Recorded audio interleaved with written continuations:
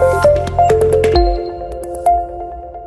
Okay mambo vipi mtazamaji wa vyoti media? Karibu sana siku ya hii leo. Aa, ni mwezi wa tisa bado ni mbichi sana. Mimi naamini kwamba mwaka unaenda mwishoni lakini kama kuna vitu ulitamani kuvitimiza mimi naona muda bado upo. Unaweza ukatimiza hivi sasa. Ni mwezi wa tisa wa kumi kumi na moja kumi na mbili tunafunga elfu mbili ishirini na tatu tunaenda elfu mbili na ishirini na nne. Ni weekend tumetoka. Ilikuwa na mambo mengi sana lakini pia tulikuwa na msiba wa msanii Haitham Kim ambaye amefariki dunia ah, tarehe moja. Na hii tuliijua kupitia mume wake ambaye alitoa taarifa kwa umma ah, kwa kile ambacho kilikuwa kinamkumba ah, mke wake Haitham Kim ambaye aliumwa. Hali yake ilibadilika ghafla siku uh, zilizopita kabla ya kukutwa na umauti. Alikuwa akisumbuliwa na upumuaji, ambapo ilianza kama homa ya kawaida, lakini baadaye akawa anakosa pumzi hadi kupelekea kuwekwa kwenye mashine ICU na kuchomwa sindano za kila siku zinazogharimu shilingi laki saba kwa siku. Sasa uh, wadau wengi walijitoa kwa moyo wao. Tuliona mwitikio wa wasanii ulikuwa mkubwa sana kwa kuposti kwamba na wao walikuwa wanahitaji msaada. Kuna wengine pia walitoa msaada wao, lakini sasa baada ya msiba, baada ya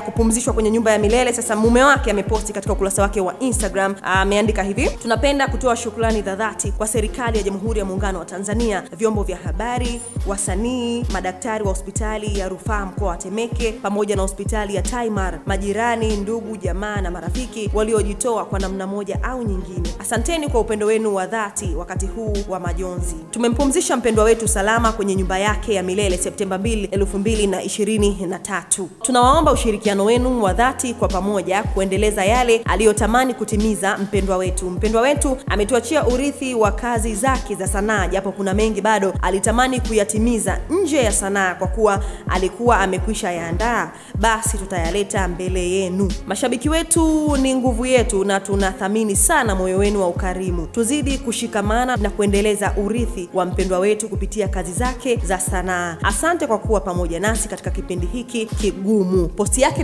imesindikizwa na wimbo wa Wiz Khalifa See You Again, ambapo huwa tunautumia sana pale ambapo tunakuwa tumewapoteza wapendwa wetu. Lakini pia taarifa hii uh, imepostiwa katika ukurasa wa marehemu wa Instagram Haitham Kim, ambapo peji yake sijui itakuwa ina, inaendelezwa na nani, pengine ni ndugu au mume wake uh, lakini pia ametoa taarifa pia shukrani. Taarifa hii pia tumeiona pale. Sasa mimi ambacho nimekiona ni kwamba uh, marehemu aliacha kazi zake za sanaa, nyimbo zake. Sasa uh, zikiachiwa, basi sisi kama wadau, sisi kama Watanzania pia tuna kazi bado ya kuhakikisha kwamba tunatimiza ndoto za Haitham Kim, kwa sababu kesho ya kwako huijui, kesho ya kwangu sijui. Basi tuna kazi, na mimi naamini kwamba Watanzania hatuna dogo, tutahakikisha kwamba tunayaenzi yale ambayo alitamani kuyatimiza Haitham Kim. Sasa uh, mimi niseme kwamba nimeileta hii taarifa kwetu wana VOT Media, Watanzania kwa ujumla. Mimi ni Latifa Leonard Tifa TK, lakini Bwana ametoa, Bwana ametwaa, jina lake libarikiwe, amen.